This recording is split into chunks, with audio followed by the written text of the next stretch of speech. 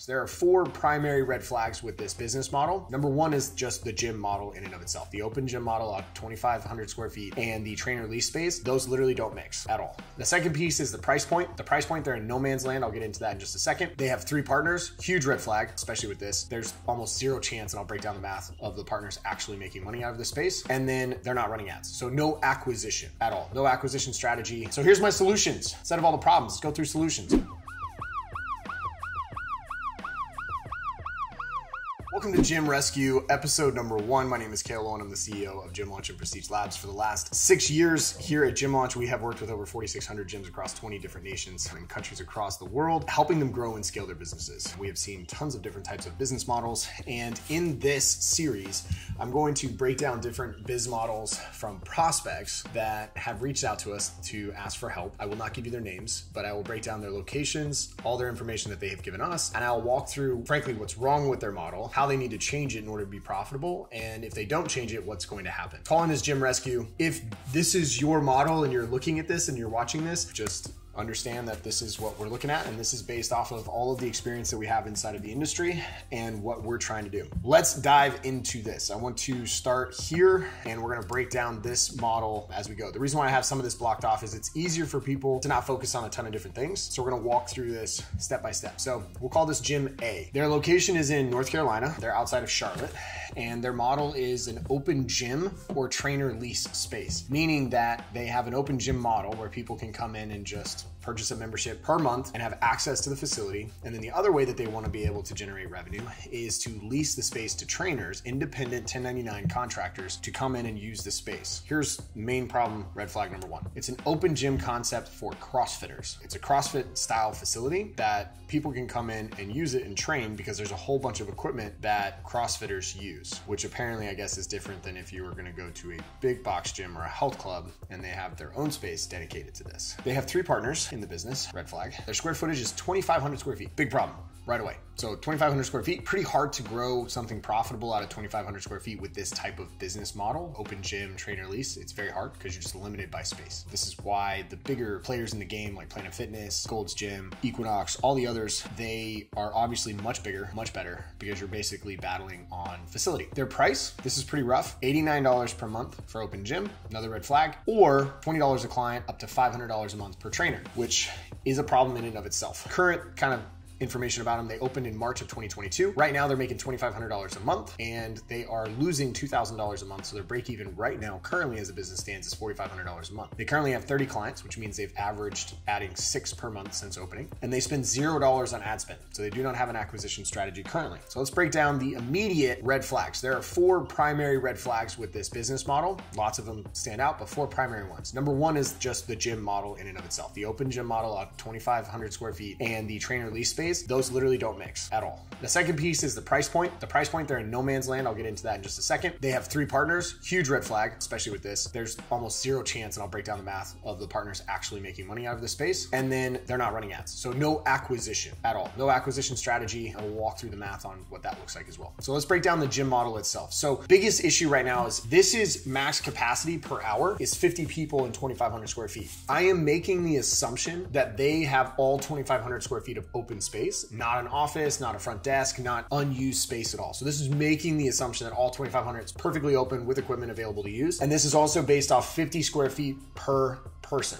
Here's the problem. CrossFitters typically take up more space. So when you get into snatches, cleans, and all that stuff, what we have found to do it safely is you need anywhere between 75 to 100 square feet of actual space for CrossFit style workouts. But this is the most amount of people that they can fit within an hour. Now you might think, cool, we can run it for 24 seven and we can make a lot of money. That's at max capacity though. You got to understand that most likely on this type of model, the most amount of members you're going to get is anywhere between a, maybe 100 to 150 people on this type of model. And we'll get into why in just a second. The main, well, the main reason is price points in no man's land, and I'll break that down in just a second. But $89 a month is two to three times, eight times, nine times more than anyone else in the space that has the same style business model. And they have nicer facilities, nicer bathrooms, they have all the amenities, they have everything that you need. And all of them are putting in places or spaces within their facilities for this type of workout. I know for me, like I go to a, a health club locally, I pay 35 bucks a month. My wife pays $20 a month. They have two different sections, all turfed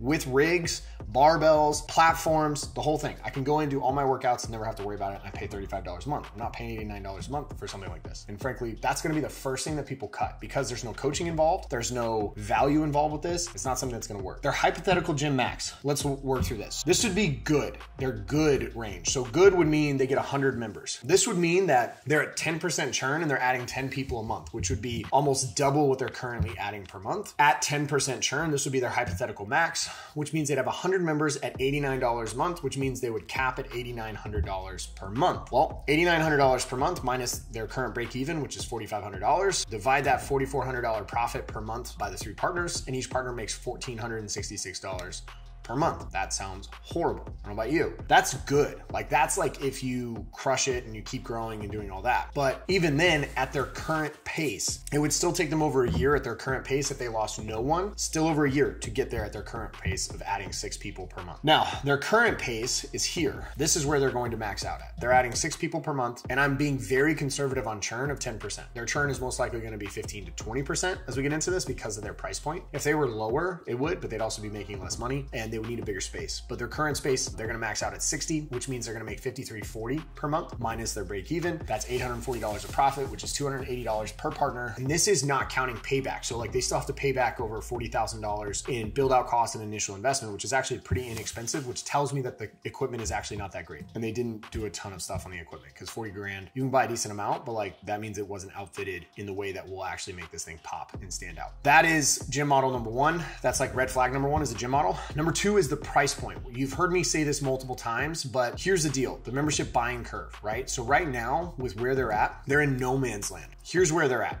And this is a problem. If you look at this on the demand curve versus price point and how large these classes are, you can see that on all the way to the left hand side in that tall green section, that is where the health clubs typically lie. They're $25, $30, $40 or less per month, and they're saving a ton of money, but the demand is really high because it's really inexpensive and it's essentially a lease usage facility. You're leasing to use the facility, paying a lease agreement every single month to swipe in and go in and have access to a facility. Notice where the red is with the black X's, called the watermelon curve, but this is where it's no man's land because you're in between roughly 40 $50 a month, probably 40 is about the cap, all the way to about $150 a month. That no man's land is not where you want to be because you're not offering any services, you're not offering nutrition, you're not offering coaching, you're nothing. You're just charging $89 a month for people to have access to something that they can get for again nine times cheaper than what you're charging right now. And you could say well i'm going off the fact that this is built for crossfitters. It doesn't matter. You're still not going to make enough to break even because around your area there's not going to be enough crossfitters that are good enough that don't need the coaching that are introverts and hate working out in a group that would rather come to your facility and pay more than what they can pay somewhere else. It doesn't make sense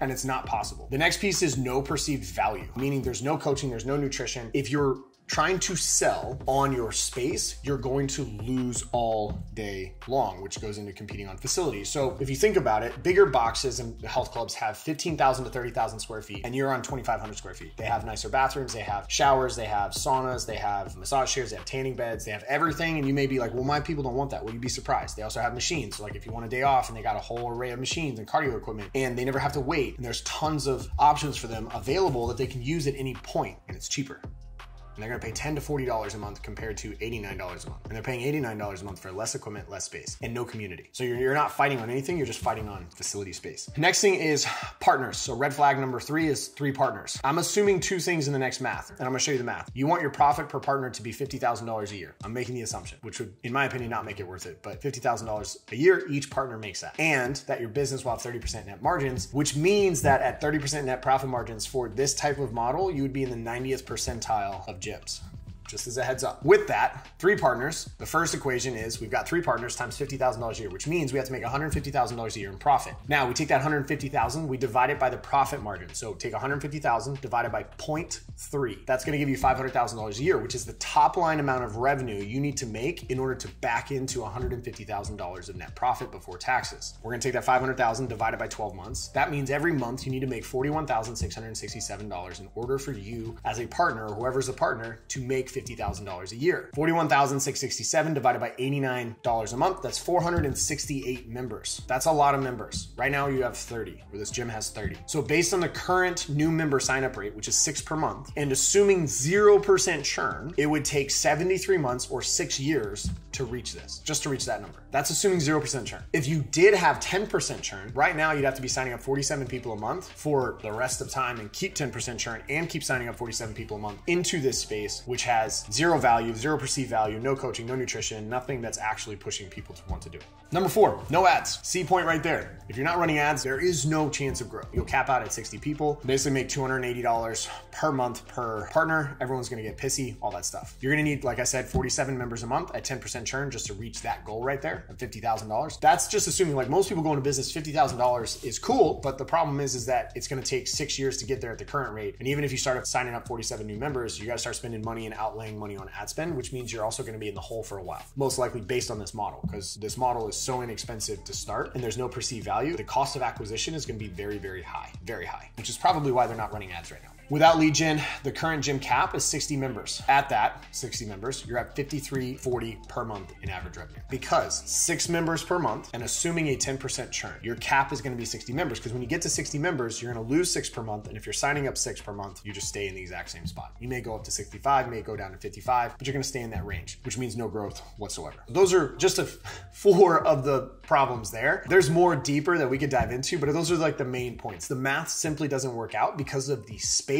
no acquisition systems, and the idea that you're positioning something in a niche market for CrossFitters when CrossFitters really truly don't care. CrossFitters, you can say they're not cheap. They really are. At the end of the day, once a CrossFitter goes through, unless they're a competitor, and competitors are actually even worse than everyone else, they do it because of the community. They do it because they want to join a group of people and they want to sweat, they want to suffer, they want to be around other people. CrossFit was built on community. Building it on an open gym atmosphere is not community. What's going to happen is you're going to have cliques that come in and they're going to work out together and going to dip. But as soon as there's another space or another opportunity, and one of the leaders of that clique sees that and it's cheaper, they're just to move to the other one and they're going to take everyone else with them. So there's no point in this. There's nothing that ties people to this at all. If you had a bigger space and you wanted to go the big box route, like the health club route, totally understand. You would need probably 10, 15,000 square feet, and you could probably crush it, but it would have to be a, a, general type of gym. This is not the space for that. So here's my solutions. Instead of all the problems, let's go through solutions. Number one, this is option number one. Move to the gym launch model. Move to large group classes. You're gonna get rid of your open gym concept. You're gonna have a cap per session of 16 to 20 people. So you're gonna move to large group. You're going to charge $49 a week for three time a week membership, and it's gonna be large group. Once you fill this up, you're gonna move to $77 a week for hybrid, which is simply just bolting on custom nutrition and accountability. So now you're adding in another level of service and you're charging for that. Then you're going to open up semi-private when you get to a certain point with your memberships, which is going to be four clients with one coach, and you're going to do it for 149 a week for semi-privates. You're going to remove two partners. Needs to happen. Like there's no point. I know two of the partners really aren't in the business anyway, and so you just remove two partners. See you later. There's no point in them being there. Pay them back and get them out. And then you're going to scale. Here's where we're at. So you're going to scale to 120 large group members. So LG stands for large group. 120 large group members. That's $25,000 a month in EFT. So you're going to scale to that. Then you're going to add on 40 hybrid members. So you're going to have 160 members at this point. 40 of them are on a hybrid membership of $77 a week, meaning they come in three times a week for a large group and they pay you an additional fee on top of that every week to get custom nutrition and accountability. You're making an extra $13,000 a month from 40 clients. Then you're going to open up your semi private and you're just going to have 30 people in your semi private, which you could get from the 160 right away, literally in eight weeks. We have the program that will just rock this out. You make $75,000 in cash and then you just move them into EFT. But you got 30 people paying you 149 a week, just 30. That's it. Now you're making an extra $19,000 a month. And then you'll bolt on supplements at the end. 30% of your clients will be on subs, $80 commission per client, and that's a total of 61,500. You're making 61,500 off of 190 clients. Your payroll will be $31,213. This includes $20,000 a month salary to the owner. Other expenses are going to be around 10k including ad spend, rent, everything else. Going to know the rent at this space is inexpensive based on the current numbers that they gave, so it can't be that much. So the total expenses would be roughly $41,213. Net profit before taxes is going to be $20,286 a month with 190 members. So that's option 1. Now, let's look at option B is a semi-private model. You just go straight semi-private. You have a 2,500 square foot facility. You do four on one per session. You run sessions every 15 minutes as you begin to build. So you start and you take peak times, and then when you start to grow, you just add a session every 15 minutes. So you have the way you do your programming is you have your warm up for 15 minutes, then you move to your strength stations, and you have strength stations every 15 minutes, and you move them them in different ways. You can run a session every 15 minutes. And then what ultimately happens is when you get to max capacity, you're running 15 minute sessions or you're running hour long sessions every 15 minutes for five hours per day. You can do two and a half hours in the morning or three hours in the morning, two hours in the evening. Doesn't matter. Just for five hours per day. It's 20 sessions per day. At $149 a week for a three time a week membership, you're going to remove the two partners. You're going to scale to this 160 semi private clients. You're going to make $102,000 a month. $102,000 a month, $149 a week with 160 clients in semi private, and you're only working every day for five hours. But you're not because you're going to have five coaches. You're going to pay them $75,000 a year to manage. You're going to have one admin person at $50,000 a year. You're going to have one salesperson. All your expenses, your payroll, $63,750 a month. That includes a $20,000 owner salary. Other expenses are $15,000 a month. I went up, and the reason why is you'll probably have to spend more on advertising. You might have some other stuff that you want to buy, all that stuff, which means your total is 78,750. Net profit before taxes is $23,250 with the owner taking a $20,000 a month salary, which is $240,000 a year salary. Plus, you get this net profit with one partner, and that's with 160 members. So, those are the two options that I would do. There you go. So, if you like this episode and you find this interesting, go ahead, click the like down below, ask comments on this, uh, break it down. Obviously, this is scaling. You need to scale this, but you got to look at potential before you even start opening a gym. This is why this is very important. You got to look at what is your ability to grow, what is the opportunity that you have available. In the current model, the opportunity is not there. And the reason why is in theory, you're like, cool, it works on basically on an Excel spreadsheet, it would work because cool, if I just get this amount of people at $89 a month, you're missing the piece that you have no value. There is no value. You're competing against better facilities, you're competing against lower price, and you're in this no man's land where people just frankly aren't going to value your not even service. They're not going to value coming to your facility and being a member there. Switch it to something that's way more valuable, spend the time, and then what you can do is if you do the semi-private model, you can pay your coaches $75,000 a year. Don't know any trainers out there that would say no to that, especially in that area. They're going to be getting paid better than everybody else. And studies show that $75,000 a year is kind of that number that will allow people to be happy and they're stoked and no financial stress, depending on inflation moving forward. But now you're in a place where you're not going to get the turnover with the trainers. You're going to have a spot that basically will run itself with your admin getting $50,000 a year, your trainers owning a lot of the process. You have a salesperson that really doesn't have to sell that much. You're simply in a position where you have 160 members and you're taking home $43,000 a month. That is a sustainable model. That is something that you can do. It's going to take time and both are going to be hard work. Whichever model you choose is going to be hard work, but one of them has the potential to make you a ton of money. The other has the potential, almost a certainty of absolutely shutting down and not making money. So if you find this stuff interesting, um, go ahead, like it, drop a comment down below with any questions, and hit the subscribe button as I do more of these.